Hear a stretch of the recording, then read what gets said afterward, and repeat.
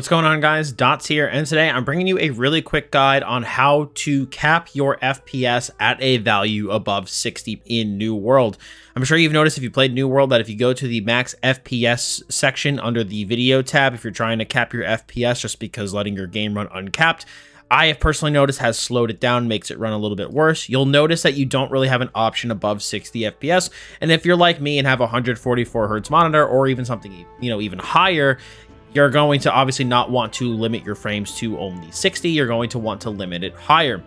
And in today's video, I'm just going to really quickly show you how to go about doing that. So in game, you're just going to want to leave it at uncapped. And the main change you're going to want to make is going to be in your Windows files. So what you're going to want to do to be able to actually edit this value and set your frame rate cap is you're going to want to go to your PC, your C drive, users, whatever your name is, app data, roaming, AGS, New World, save data. To do this, you also really need to make sure that you have hidden files enabled because this app data folder is a hidden folder. So you need to make sure that you are actually able to see those and you can set that in your Windows settings.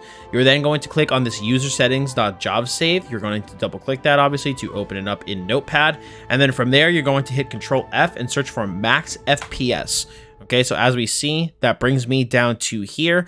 And when you originally edit this, it's going to have a value of negative one, which simply means that it is going to be polling something else for information. In this case, going to be your game. But since we only have 30, 60, or uncapped as our options, we are going to want to actually set an option here.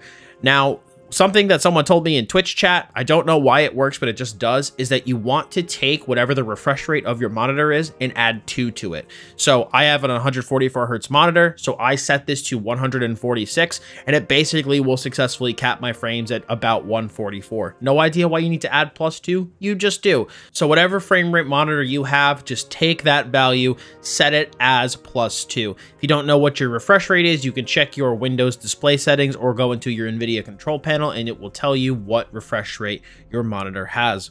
But that's it guys. I just wanted to quickly make this guide to show you how to do this because i've been getting asked about it a lot in stream once i made the change. It's really good to cap your fps especially in a game like new world not exactly optimized the best and letting your frames just run wild can actually slow down your pc so capping the frames at like I said, 2 plus the refresh rate of your main monitor is actually going to give you better performance inside the game. So hopefully you found this helpful. Leave a like if you did. If you have any questions about this for some reason, leave them below.